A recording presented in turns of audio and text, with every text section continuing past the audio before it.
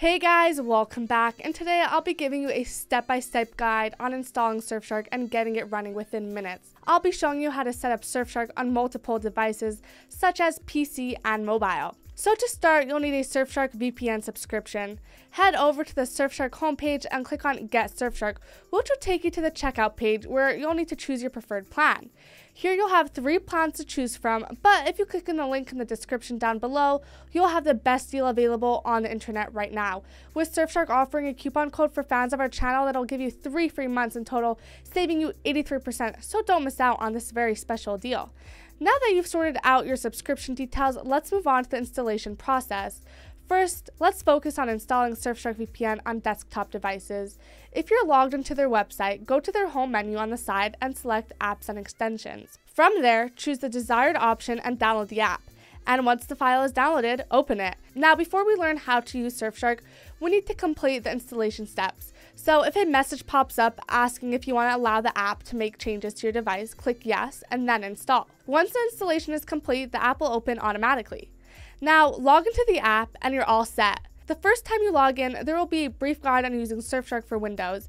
And if you're using a Mac, you'll also get a short tutorial on how to use Surfshark on your Mac. Afterwards, just click on the Quick Connect option, and that's all you need to do to activate your VPN connection. It's that easy. And if you have a specific location in mind, you can scroll through the country list. Now, let's discuss the process of downloading Surfshark VPN on your mobile devices, which is a little bit different from what we've done so far. To get started, you'll need to download the mobile apps from the respective app stores. Once you have an account, here's how to install Surfshark on your mobile device. iPhone users should go to the App Store, search for Surfshark, and click Install.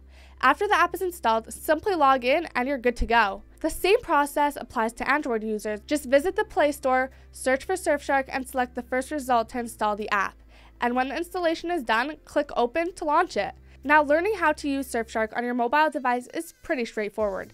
The app has a user friendly and intuitive design, and connecting to a VPN is as simple as tapping the Quick Connect button. Once the connection is established, your IP address is changed, and your internet traffic becomes encrypted, providing an extra layer of security. And if you need to connect to a different server, just tap on the location icon. Also, you can access the Surfshark One bundle from the tabs on the left, among other extra features that you could get with a full bundle.